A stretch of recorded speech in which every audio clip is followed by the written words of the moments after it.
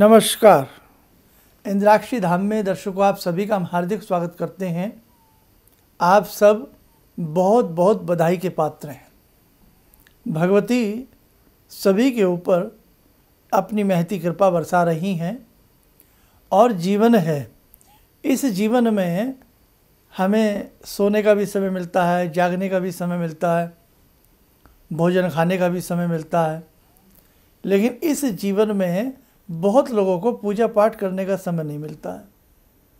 सैर सपाटा, घूमना, हर चीज़ का समय मिलता है, लेकिन भगवान के नाम पे बैठने का समय नहीं मिलता।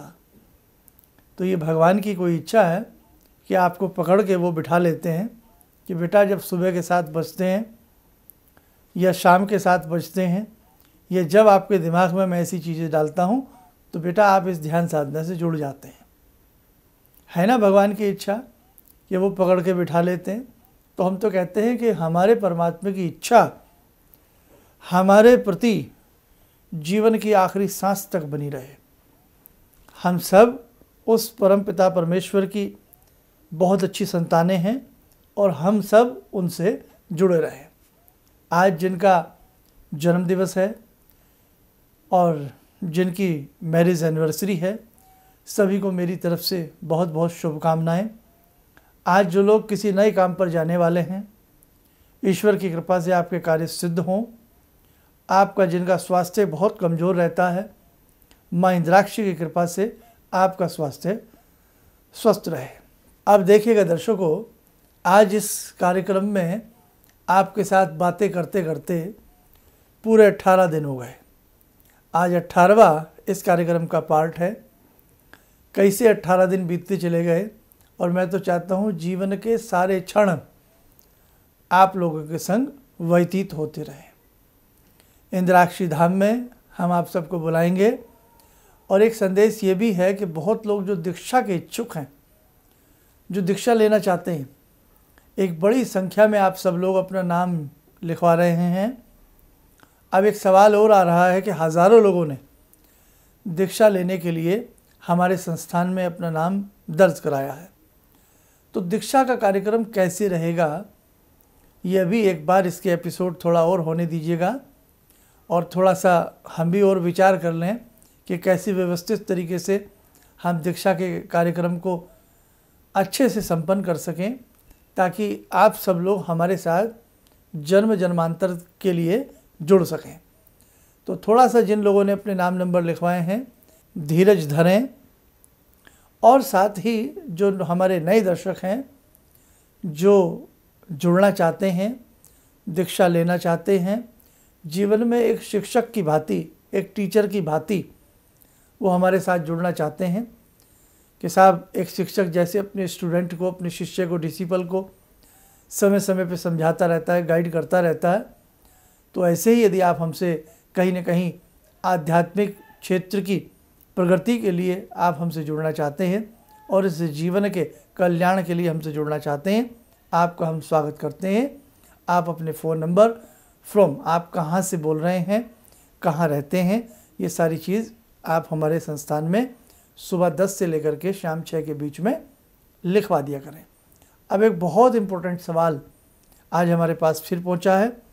रिंकू सागर का, ये बिजनौर से हमें लिखते हैं। क्या लिखते हैं? इन्होंने अपना कुछ हमसे पूछा है और उसी के एवज़ में बहुत सारी चीज़ें आपको बताएँगे आज। इनका सवाल था कि इनके घर में एक नींबू का पेड़ लगा हुआ है। उस नींबू के फल जो हैं, जो नींबू लगता है, वो फट जाता है। तो ये जानना चाह रहे हैं कि क्या शर्मा जी, ये कहीं नकारात्मक कोई तथ्य तो नहीं है? इस नींबू के फटने का हमारे घर से क्या ताल्लुक़ है? क्या हमारे घर में कोई बड़ा नुकसान तो होने वाला नहीं है? इस प्रकार की मन में बातें चल रही हैं।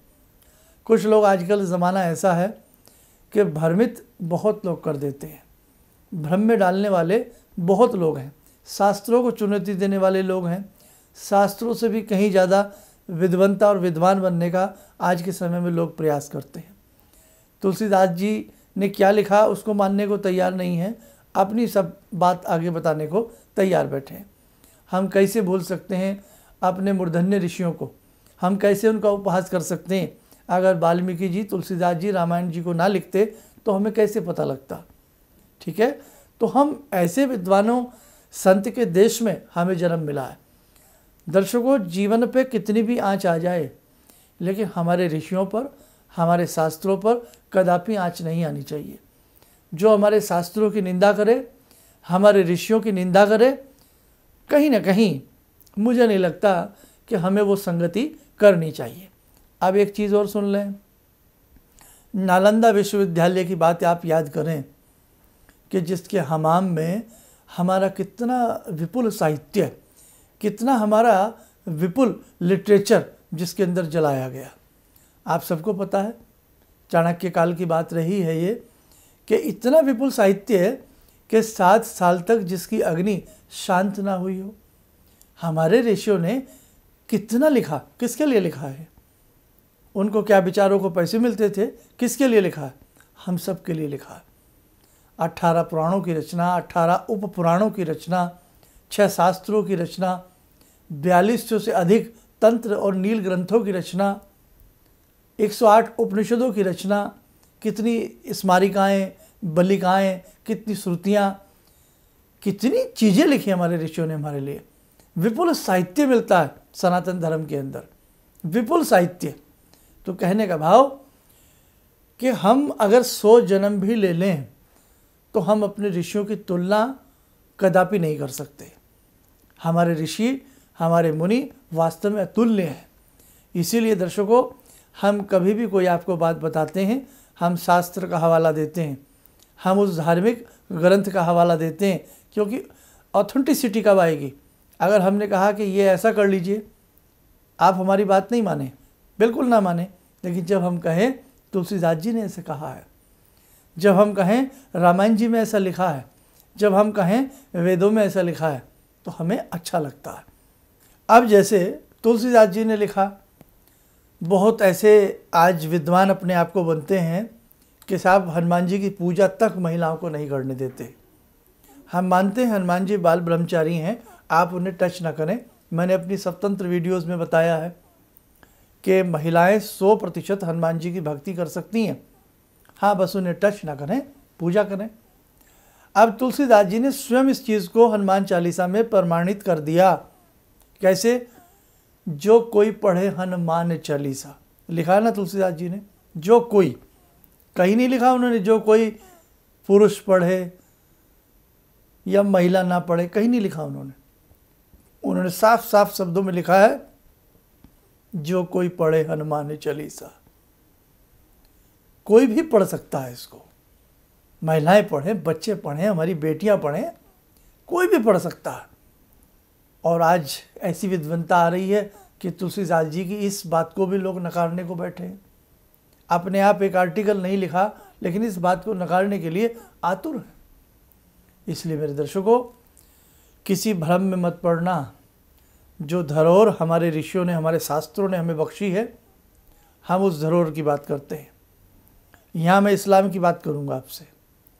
कोई कुछ भी कह दे, लेकिन इस्लाम में क्या है कि साहब, कुरान शरीफ में ऐसा बताया है, कुरान शरीफ में ऐसा लिखा है।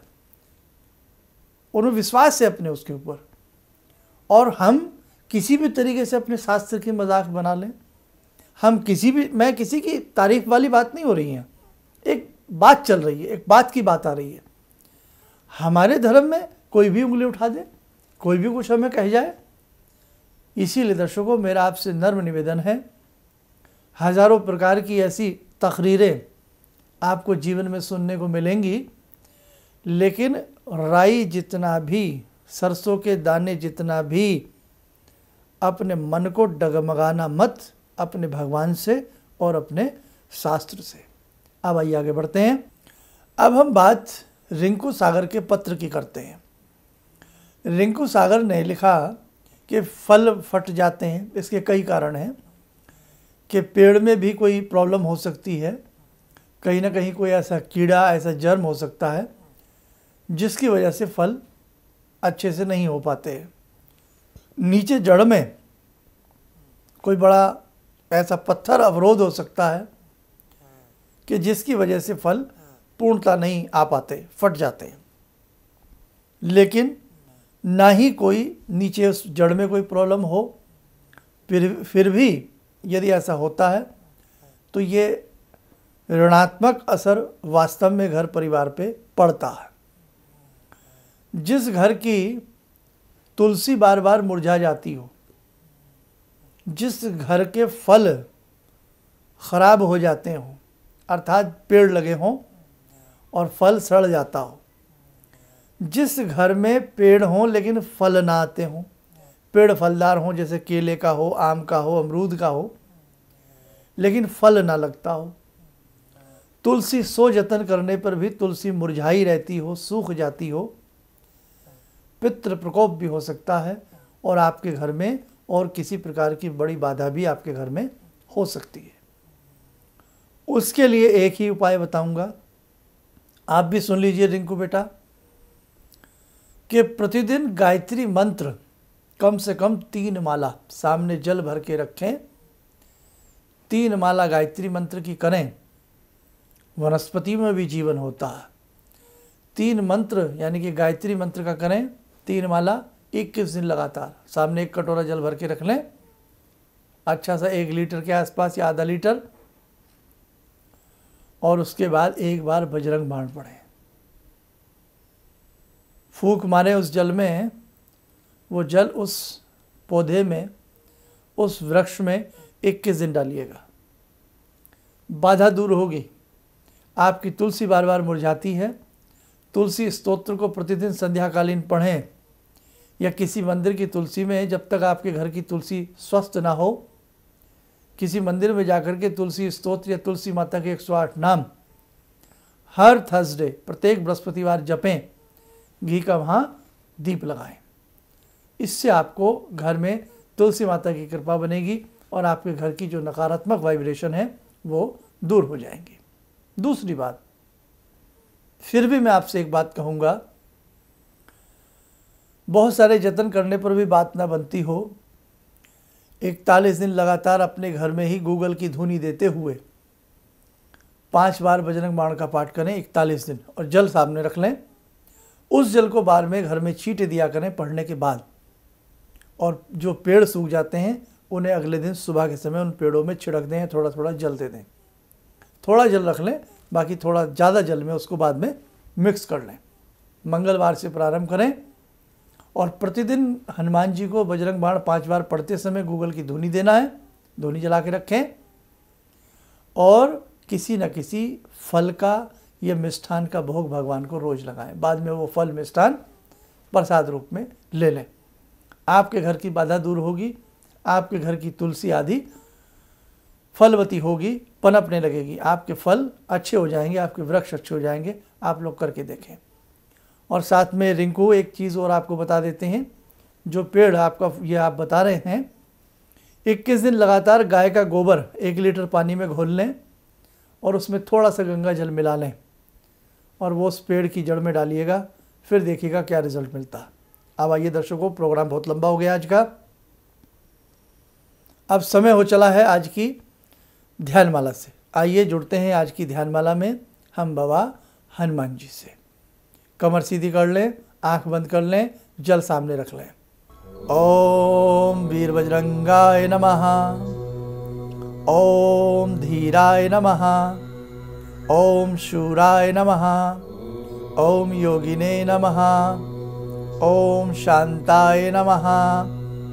ओम हरि मर्कट मर्कटाय नमः। ओम संजीवन शैल हर्त्रे नमः। ओम महात्मने नमः। ओम पिंगलाक्षाय नमः। ओम रामदूताय नमः। ओम दीनबंधवे नमः। ओम सर्वतंत्र स्वरूपाय नमः। ओम सर्वमंत्र स्वरूपवते नमः। ओम सर्वयंत्रात्मकाय नमः। ओम शिवाय नमः। ओम कपीश्वराय नमः। ओम महाकाव्याय नमः। ओम सर्वरोगहराय नमः। ओम राम भक्ताय नमः।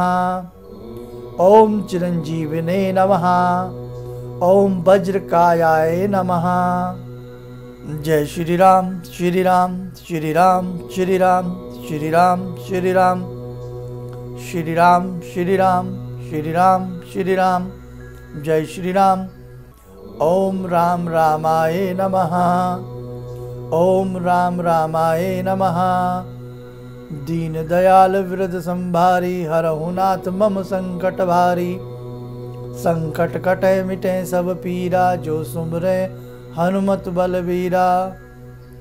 ओम श्री वीर बजरंगाए नमः। कवच बना लें। नेत्र बंद रखें। गुप्त मंत्र हम पढ़ रहे हैं, आवाज़ सुनाई नहीं देगी, ध्यान लगाएँ।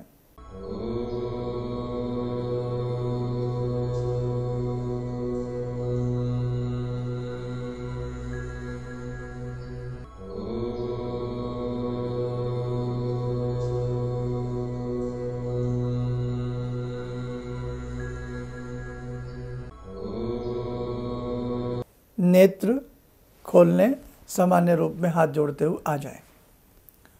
तो दर्शकों, प्रतिदिन आपको इस ध्यान साधना से प्रतिदिन जुड़ना है। अब आपके जुम्मे एक काम छोड़ता हूँ, वो आपकी ज़िम्मेदारी है। हमें कम से कम आपसे एक हज़ार आठ मालाएँ चाहिए। मतलब एक हज़ार आठ मालाएँ हम चाहते हैं आप अपनी तरफ़ से हमें बना करके दें। राम नाम की माला से हनुमान जी प्रसन्न होते हैं। जितने भी साधु संत हैं, भगवान की सेवा से और विशेष प्रकार के कर्म कांड से प्रसन्न होते हैं। ज्ञान के यज्ञ से प्रसन्न होते हैं और ज्ञान यज्ञ से बड़ा कोई यज्ञ नहीं, विद्या यज्ञ से बड़ा कोई यज्ञ नहीं। एक हज़ार आठ मालाएँ बहुत होती हैं कहने को। लेकिन हमारे इस कार्यक्रम से कितने लोग जुड़े हुए हैं? लाखों लोग देखते हैं। अब बहुत से आप हमारे कार्यक्रम देखिएगा। अंगूठे के बाजू वाली उंगली लंबी हो तो क्या होता है? तकरीबन पचास लाख लोगों ने देखा। हाथ के अंदर क्रॉस हो, तकरीबन पचपन लाख लोग उसे देख चुके हैं। केवल दो ही एपिसोड हमारे एक करोड़ लोग पार कर चुके हैं। और उसके बाद और बहुत सारे एपिसोड आप देखिएगा। तो यदि हम अपने आठ दस एपिसोड भी गिन लें तो तकरीबन तकरीबन पाँच से सात करोड़ आदमी गुजर चुके हैं उसे देख करके।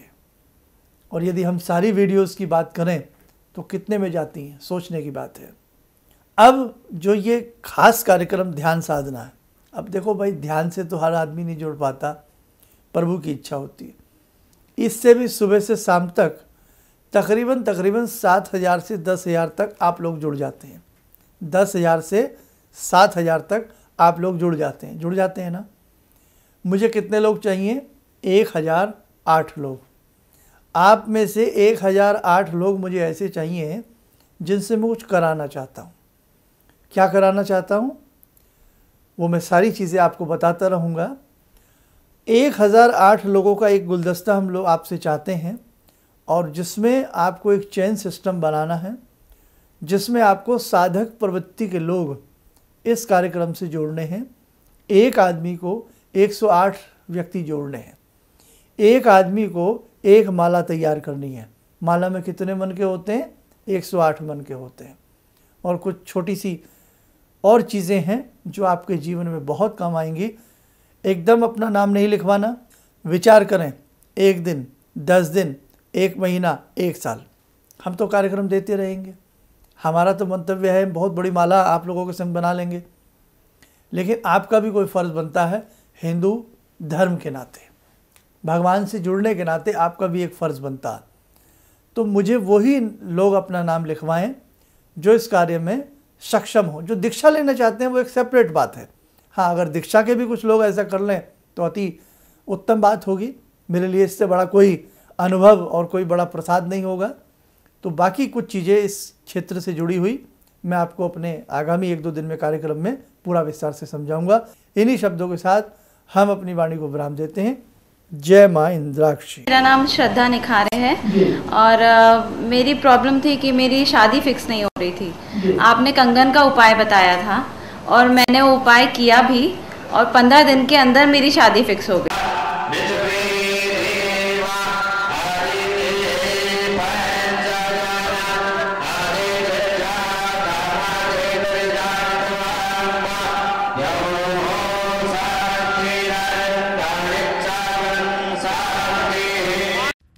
हमारे विभिन्न ज्ञानवर्धक कार्यक्रम देखने के लिए आप हमें अभी सब्सक्राइब करें। बेल आइकन को प्रेस करें ताकि आप देख सकें हमारा कार्यक्रम सबसे पहले। और अधिक जानकारी के लिए फेसबुक पेज को लाइक करना न भूलें।